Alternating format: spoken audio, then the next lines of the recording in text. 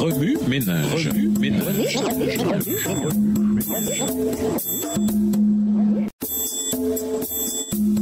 Remue ménage. Remue ménage. Bienvenue dans votre émission. Remue ménage. Voilà la leçon de mercredi. Ce n'est pas votre travail. Lisons Romains 10, versets 1 à 10. Romains 10, les versets 1 à 10. Frères, le vœu de mon cœur et ma prière à Dieu pour eux, c'est qu'ils soient sauvés. Je leur rends le témoignage qu'ils ont du zèle pour Dieu, mais sans intelligence. Ne connaissant pas la justice de Dieu et cherchant à établir leur propre justice, ils ne sont pas soumis à la justice de Dieu, car Christ est la fin de la loi pour la justification de tous ceux qui croient. En effet, Moïse définit ainsi la justice qui vient de la loi. L'homme qui mettra ces choses en pratique vivra par elle. Verset 6. Mais voici comment parle la justice qui vient de la foi. Ne dis pas en ton cœur, qui montera au ciel? C'est un, faire descendre Christ. Ou, qui descendra dans l'abîme? C'est faire remonter Christ d'entre les morts. Que dit-elle donc? La parole est près de toi, dans ta bouche et dans ton cœur. Or, c'est la parole de la foi que nous prêchons. Si tu confesses de ta bouche le Seigneur Jésus, et si tu crois dans ton cœur que Dieu l'a ressuscité des morts, tu seras sauvé car c'est en croyant du cœur qu'on parvient à la justice et c'est en confessant de la bouche qu'on parvient au salut selon ce que dit l'Écriture. Avoir un emploi est une expérience enrichissante, même s'il n'est pas le meilleur socialement parlant. Le salaire qui l'accompagne fait qu'il en vaut certainement la peine. Votre chèque de paie montre que vous avez gagné votre argent. Que vous soyez derrière une caisse, remplissiez des tablettes, attendiez les commandes des clients ou fassiez promener de gros chiens. Votre travail, tout au moins, vous rapporte de l'argent. Ainsi est notre société. Elle nous enseigne que dur labeur est récompensé, que ce soit par de bonnes notes, des bourses ou des promotions.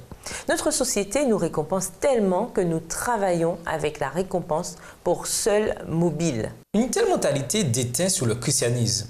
On nous dit d'être parfait comme notre Père céleste est parfait, Matthieu 5, verset 48, et de travailler à notre salut, Philippiens 2, verset 12. De nouveau, notre esprit a transformé le mobile en but. Être parfait devrait nous motiver à donner le meilleur de nous-mêmes au lieu de nous donner le sentiment d'être écrasé par nos échecs.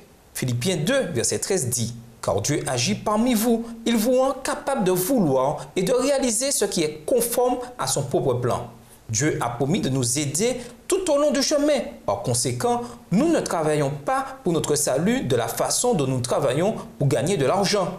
Le salut nous est accordé par la foi en Christ et en son sacrifice sur la croix. Eh bien, à quoi ressemble ma foi en Jésus? Romains 10, versets 8 et 9 dit clairement que c'est une affaire de parole dans notre bouche et dans notre cœur.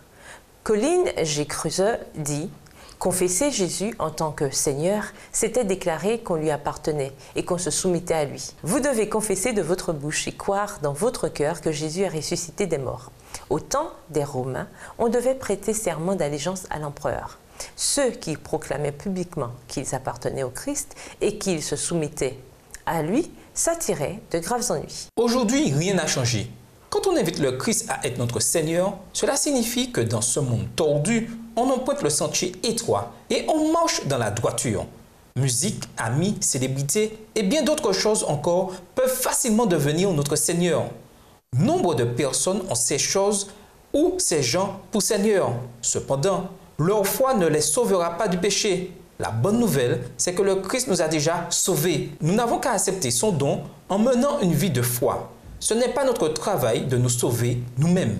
Remue ménage. Votre vie reflète-t-elle celui auquel vous êtes consacré? Qu'est-ce qui, dans votre vie, vous empêche de vous consacrer totalement au Christ? Êtes-vous disposé à y renoncer? Au revoir. Et à demain si Dieu veut. Remue ménage. Remue ménage.